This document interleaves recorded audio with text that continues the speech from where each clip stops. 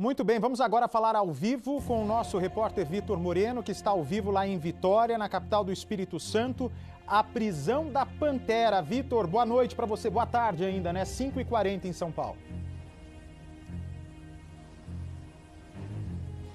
Exatamente, Bate. Boa tarde para você, boa tarde a todos que estão assistindo Cidade Alerta. A Flávia ela foi detida na noite desta terça-feira. Ela estava no hotel de luxo aqui na praia de Camburi, que fica na capital Vitória. E eu estou aqui com o delegado, com o Rafael, Rafael Correia, que é o delegado titular da primeira delegacia regional aqui do estado. Rafael, é, ela foi detida hoje no hotel, né? Como é que vocês chegaram até a Pantera?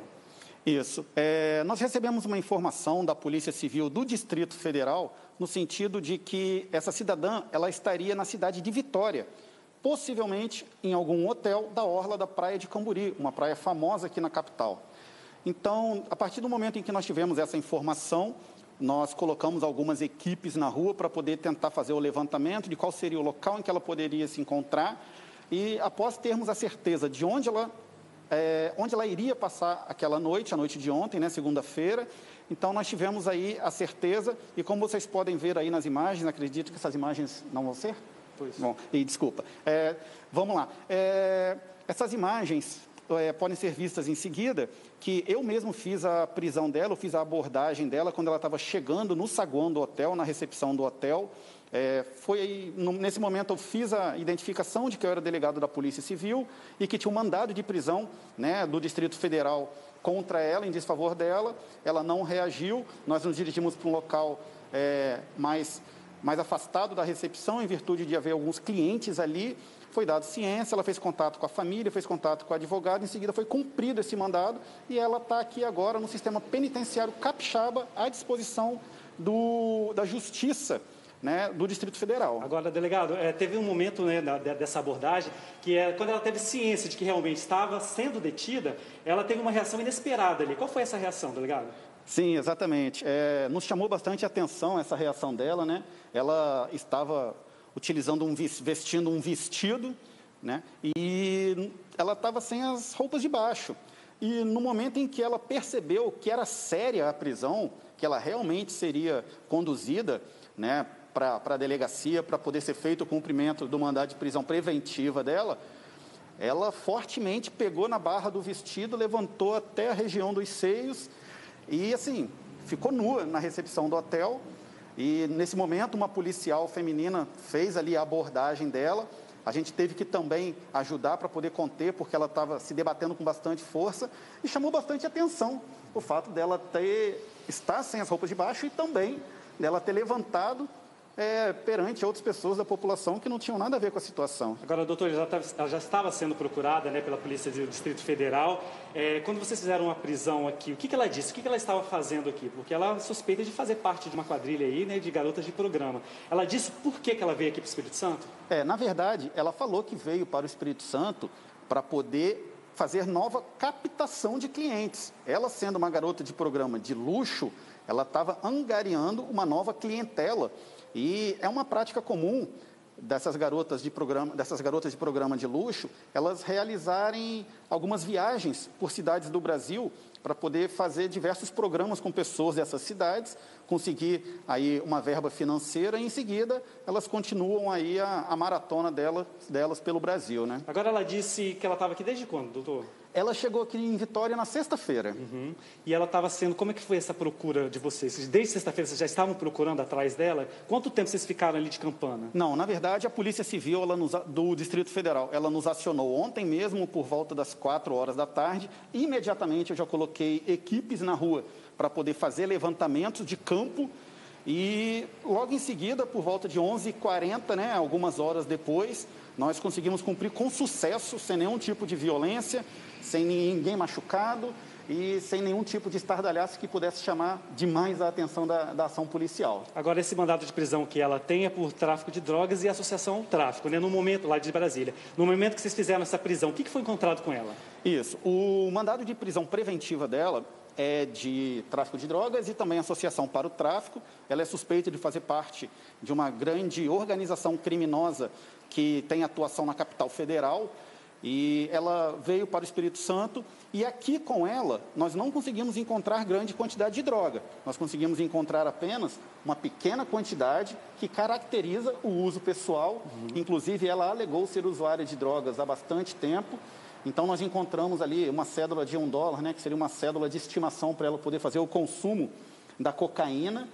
E nós também encontramos uma pequena quantidade de maconha dentro de um debulhador, de um deschavador que é um equipamento ali utilizado bastante pelos usuários de droga. Agora, delegado, é, tinham muitos policiais né, ali para conseguir pegar ela. Por que, que essa quantidade de policiais estavam lá no momento ali nessa recepção do hotel? Sim, dentro do levantamento inicial, é importante salientar que primeiro eu tive que deslocar algumas equipes para locais diferentes. Então eu tinha policiais em alguns locais separados. Quando nós tivemos certeza da localização dela, nós levantamos que ela estava supostamente acompanhada de uma pessoa de um bairro de alta criminalidade aqui da capital, que se chama Bairro da Penha, e nós tivemos ali a percepção de que poderíamos precisar de uma ação policial mais enérgica. Porém, com o andamento das investigações que foram realizadas ali mesmo no saguão do hotel por meio de celulares e internet, nós conseguimos chegar à conclusão de que ela teria vindo sozinha. Inclusive, na noite anterior, é, ouvimos relatos informais de que ela teria recebido alguns clientes no hotel também. Ou seja, essa captação de clientes que ela tem não é só de bairros nobres aqui da capital, né? Teve outros locais também que, que foi constatado. Sim, sim. É, a gente percebe que a clientela dessas garotas de programa de luxo também englobam pessoas que não estão é, digamos, caracterizadas, residentes em bairros, de, em bairros mais nobres, né? Uhum. Então, a gente percebe que é, essas garotas de programa de luxo, elas têm clientes em todas as classes sociais. Uhum. Agora, doutor, ela foi detida, né? E como é que fica agora o trâmite? Ela vai ficar à disposição do, dos policiais do Distrito Federal? Ela vai ficar detida aqui ou vai ser encaminhada para lá? Isso. É, ela não foi autuada em flagrante aqui no Espírito Santo. Então, não há nenhum interesse da Justiça do Espírito Santo que ela continue em nosso solo. A ideia, a nossa pretensão é que ela seja recambiada para o Distrito Federal que é lá o estado de origem do mandado de prisão preventiva dela, para que lá ela possa responder à ação penal é, que foi aí é, realizada contra ela. Agora, os policiais lá de, do Distrito Federal, o que, que, eles disseram mais em relação à questão da Flávia? Porque, apesar de ela ter sido um, esse mandato de preventivo de, de, drogas, né? Associação Tráfico de Drogas e Drogas, essa questão dessa rede de prostituição, realmente tem alguma comprovação que ela fazia parte ou faz parte disso? É, infelizmente, eu não tenho, é, no momento, condições de afirmar ou negar que ela tem algum tipo de vantagem financeira em alguma rede de prostituição. O que sabemos é que ela é uma garota de programa de luxo, ela tem clientes em diversas esferas da capital federal e nós não estamos investigando a prostituição num primeiro momento. A Polícia Civil Capixaba foi acionada para poder cumprir o mandado de prisão dela preventiva aqui no Estado. E eu acredito que a nobre Polícia Civil do Distrito Federal terá a capacidade de trazer essa informação aí para toda a sociedade brasileira. Você acredita, delegado, que ela veio aqui para o Estado sozinha? Realmente só ela estava sozinha nesse hotel ou tinha uma outra pessoa que possa ter vindo com ela para cá? Não. De acordo com todos os levantamentos que nós fizemos, inclusive entrevista posterior com ela, alguns levantamentos, algumas, alguns diálogos, pessoas que estariam juntas, é, alguns clientes que também usaram do serviço dela e também de algumas postagens em rede social nós acreditamos que ela veio sozinha. Agora, nesse momento da prisão, o que, que ela chegou a dizer para vocês? Ou ela chegou a fazer contato com algum familiar? Chegou a pedir ajuda de alguém no momento da prisão? É, na verdade, é importante salientar que a Polícia Civil, a Polícia Militar ou outro órgão de segurança pública, quando realiza a detenção de uma pessoa, tem que disponibilizar aí alguns direitos constitucionais. Dentre eles, o contato com a família, disponibilizar a possibilidade de contato com um advogado. Tudo isso foi disponibilizado de forma imediata para essa cidadã. Ou seja, ela vai continuar detida até o contato com a Polícia Civil de Brasília, Distrito Federal, para saber qual vai ser o trâmite que vai ser tomado a partir desse momento. Isso. O Poder Judiciário do Distrito Federal já está ciente da prisão dela. A comunicação nesses períodos de pandemia tem sido de forma eletrônica, então essa comunicação foi feita de forma imediata.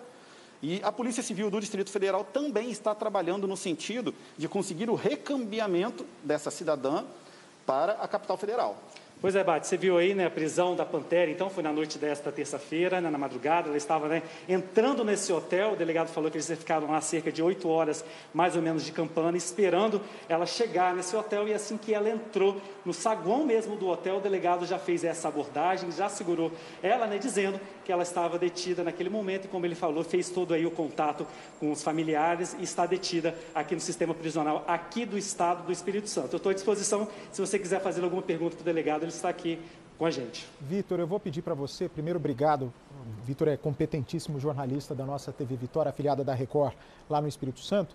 É, o Percival aqui, o, o Vitor, ele está empolvoroso, querendo saber o seguinte: por que na hora em que dão a voz de prisão para ela, quando ela percebe que realmente era uma prisão de verdade, que ela ia ter a liberdade dela privada, ela ficou nua, ela levanta a roupa para ficar nua. Eu vou já com você, porque o delegado é brilhante, né? O delegado fala a língua do povo. Eu vou trazer também a primeira imagem da Pantera após a prisão. É, ô Vitor, fica à vontade. Primeiro, parabeniza o trabalho do delegado Rafael aí, de todos as, os tiras aí da delegacia, e pergunta para ele por que, que ela ficou nua. Ela quis mostrar que não tinha arma ou ela acha que a sedução era a arma dela para evitar a prisão, né? Porque eu não duvido de nada dessa gente.